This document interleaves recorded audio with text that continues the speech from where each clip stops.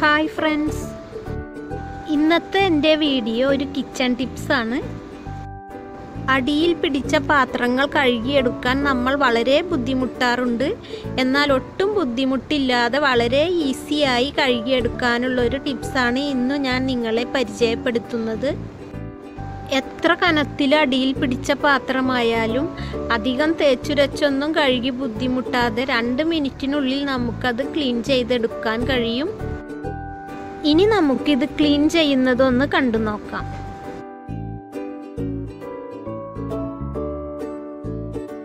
ഇപ്പം നിങ്ങൾ ഈ കാണുന്നത് ഒരു ഉരുളിയാണ്. ഞാനിതിൽ ഒരുപാട് ചിക്കൻ ഒന്നിച്ച് ഫ്രൈ ചെയ്തെടുത്തപ്പോൾ അതിൽ എക്സ്ട്രാ വരുന്ന മസാല കരിഞ്ഞ് പിടിച്ചതാണ് ഈ കാണുന്നത്.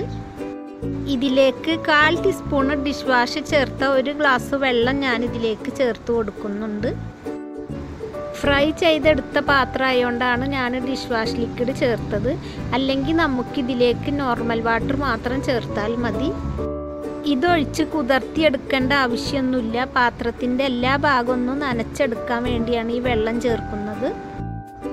പാത്രത്തിന്റെ എല്ലാ ഭാഗത്തും നനച്ചതിന് ശേഷം ഞാൻ ആ വെള്ളം ഇപ്പോൾ കളഞ്ഞു. ഇനി നമുക്ക് ഈ പാത്രം ഒന്ന് അടുപ്പിൽ വെച്ച് ചൂടാക്കിയെടുക്കണം.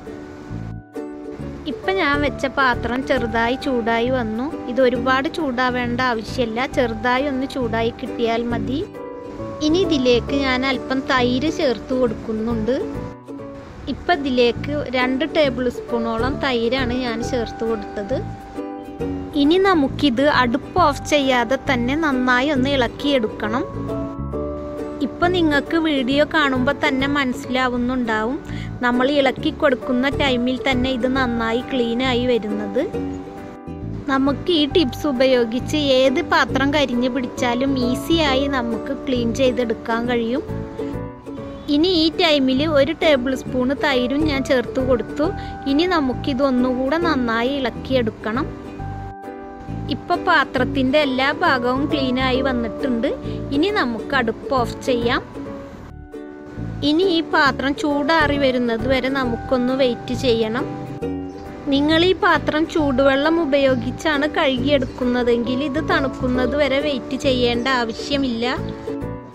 ഉരുളിയും നോൺ സ്റ്റിക്ക് പാത്രങ്ങളും മാത്രമേ ചൂടുള്ള ടൈമിൽ നമ്മൾ നോർമൽ വാട്ടർ ഒഴിച്ച് കഴുകിയാൽ കേടാവുള്ളൂ. ബാക്കിയുള്ള പാത്രങ്ങൾക്കൊന്നും ചൂടുള്ള ടൈമിൽ നോർമൽ വാട്ടർ ഒഴിച്ച് കഴുകിയെന്ന് വെച്ച് പ്രശ്നമൊന്നുമില്ല. ഇനി ഈ ഉരുളി ഒന്ന് കഴുകിയെടുക്കാൻ വേണ്ടി ഇതിലേക്ക് രണ്ട് തുള്ളി ഡിഷ് വാഷ് ലിക്വിഡും കുറച്ച് നോർമൽ വാട്ടറും ഞാൻ ചേർത്ത് കൊടുത്തു. ഈ ടൈമിലും ഞാൻ ഇതിലേക്ക് ലിക്വിഡ് ചേർത്ത് കൊടുത്തത് നമ്മൾ ഫ്രൈ ചെയ്തെടുത്ത പാത്രം ആയതുകൊണ്ട് മാത്രമാണ് സാധാരണ ഒരു പാത്രം കഴുകിയെടുക്കണമെങ്കിൽ ഈ ടൈമിലൊന്നും ഇതിലേക്ക് ലിക്വിഡ് ചേർക്കേണ്ട ആവശ്യമില്ല ഇനി ഈ കച്ചറൊന്ന് കളയണം. ഇപ്പം ഇതിലുണ്ടായിരുന്ന കച്ചറൊക്കെ ഞാൻ കളഞ്ഞു. ഇനി നമുക്കിതിലേക്ക് അല്പം ലിക്വിഡ് ചേർത്ത് കൊടുക്കണം. അടിയിൽ പിടിച്ചതൊന്നും ഇനി ഉരച്ചു കഴുകാനായിട്ട് ഇതിൽ ബാക്കി നിൽക്കുന്നില്ല. അത് നിങ്ങൾക്ക് ഈ വീഡിയോ കാണുമ്പോൾ മനസ്സിലാവുന്നുണ്ടാവും. ഇനി നമുക്ക് ഈ പാത്രം ഒന്ന് കഴുകിയെടുക്കണം. ഇപ്പോൾ പാത്രം കഴുകി തുടച്ചെടുത്തു. ഈ ടിപ്സ് ഉപയോഗിച്ചാൽ നമ്മൾക്ക് അധികം ബുദ്ധിമുട്ടില്ലാതെ പാത്രങ്ങളെല്ലാം ക്ലീൻ ചെയ്തെടുക്കാൻ കഴിയും.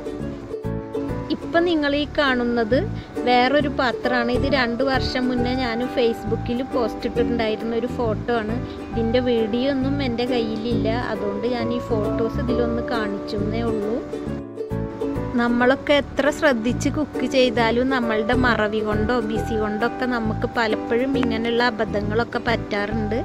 അതുകൊണ്ട് എല്ലാവർക്കും ഉപകാരപ്പെടുന്നൊരു ടിപ്സാണിത് നിങ്ങളുടെ ഫാമിലിക്കും ഫ്രണ്ട്സിനും ഒക്കെ ഈ വീഡിയോ ഒന്ന് ഷെയർ ചെയ്ത് കൊടുക്കണം. എനിക്കറിയാവുന്ന എല്ലാ ടിപ്സുകളും ഇൻഷാ അല്ല ഇനിയും ഞാൻ നിങ്ങളുമായി ഷെയർ ചെയ്യുന്നതാണ്.